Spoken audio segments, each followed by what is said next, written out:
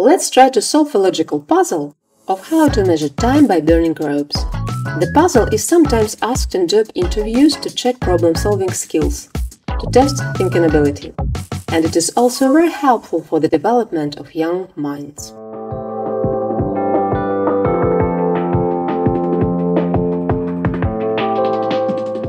You have two ropes and a lighter. The ropes are not of the same size, length, nor the width. Each rope takes exactly one hour to burn from end to end, but speed of burning isn't uniform. The ropes don't burn at a constant rate. For example, one half of the rope might burn out in 20 minutes and the other half in 40 minutes. It may not take 30 minutes to burn half the rope. The burning time of the rope and each segment of the rope does not depend on which end was set on fire.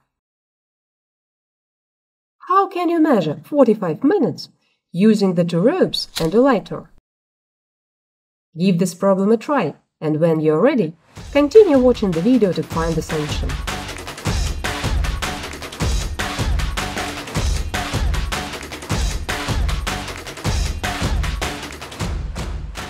The key difficulty with this problem is that the ropes don't burn at a constant rate. So we can only use time. We cannot use the speed of burning. But let's see how we can solve this problem. First, arrange the two ropes so that they don't intersect. At the start, burn both ends of the first rope and one end of the second rope. We know that each rope takes exactly one hour to burn from end to end with one flame. So the first rope with two flames burns two times as fast as it normally would. So when the first rope is totally burned, it's been 30 minutes, as it was burning from both ends. And 30 minutes are left for the second rope to burn completely, as it is burning from the one end. Exactly when the first rope is totally burned, burn the other end of the second rope. The rope with two flames burns two times as fast as it normally would.